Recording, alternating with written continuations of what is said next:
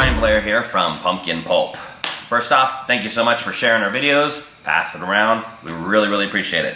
We're going to be featuring a new mask today, or actually it's our old mask. It's one of our biggest sellers. Um, back when we were first starting out, it was about the only mask we had at the time, and that is the original hog mask.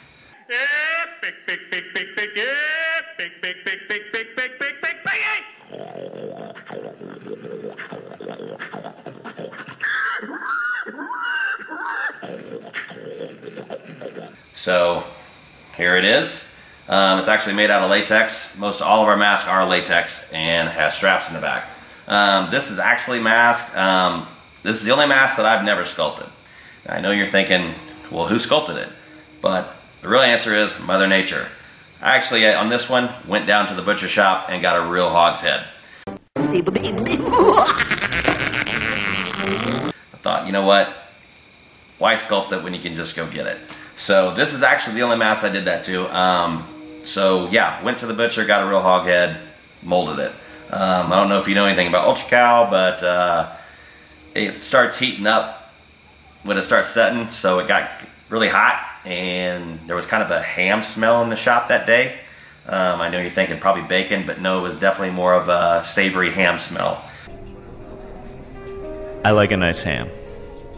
You think that's wrong? We're just enjoying the flavors of a fallen friend. True. Um, not the most pleasant job. Kind of gross. Squeal! Squeal!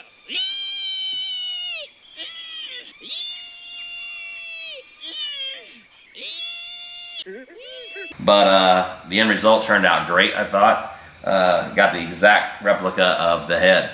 So uh, we're going to put this on here and show you how it fits. We get a lot of questions about that. This is, uh, like I said, this is definitely one of our more popular ones. Um, the only thing on this one, since it's off a real hog's head, the vision on it is not quite as sharp as some of the other masks, but the overall look is definitely one to that uh, that gets people and definitely is remember. So.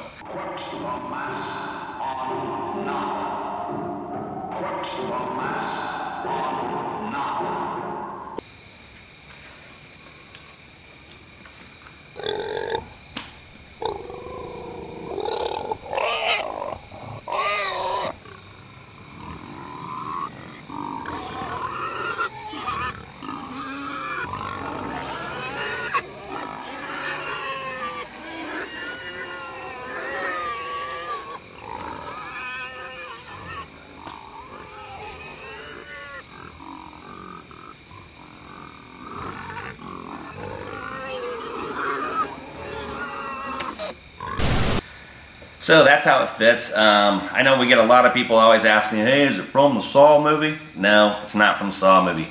You're mocking me, aren't you? Actually, we had ours before Saw. What I did get it from, though, because I'm old school, I got it from a movie called Motel Hell.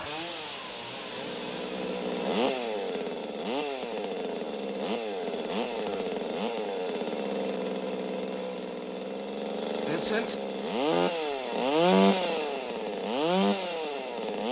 So that's kind of where I remember seeing as a kid the first person wearing a pig head. So if you haven't seen the movie, check it out. It's great. It's so bad it's great. I love it.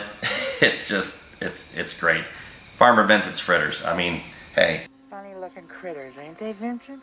Yeah, maybe so. But you know as well as I do, it takes all kinds of critters To make Farmer Vincent fritters. How can you go wrong? So yeah, check that one out. But uh, that's kind of where the, I got the idea. Um, the movie, it was definitely a lot sillier looking. Not as realistic, but hey, it was, uh, I think it was 1980 or something when it came out. So check it out. Uh, but this is our original hog mask. So here's one for you. You can see how it fits and all that. But uh, definitely one that we're always getting orders for. So thanks a lot for watching this week. We'll be back next time. Stay tuned. Thanks. Bye.